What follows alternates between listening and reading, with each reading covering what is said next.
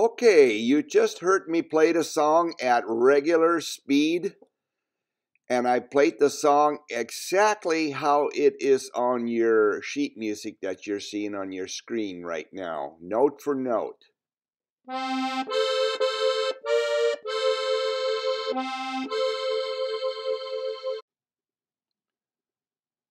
Okay, you just heard the first seven notes of the song.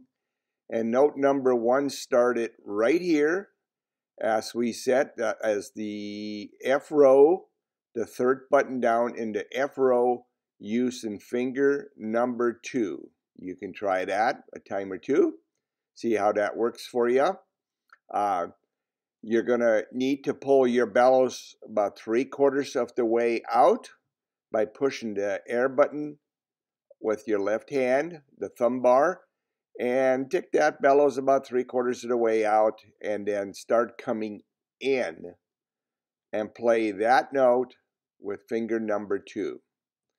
My uh, four granddaughters that you've seen at the beginning of the video can learn a song like this in a matter of 10 to 15 minutes. So there's, uh, it's going to take time at first, but hang in there. If you get to the point where you need help, uh, call me uh, I'm here to maybe work out a few things just via telephone. If you need to do lessons via Skype or FaceTime, we'll be doing a screen just like this. And you can see me uh, playing and helping you as I'm watching you on screen also. We can accomplish that for you.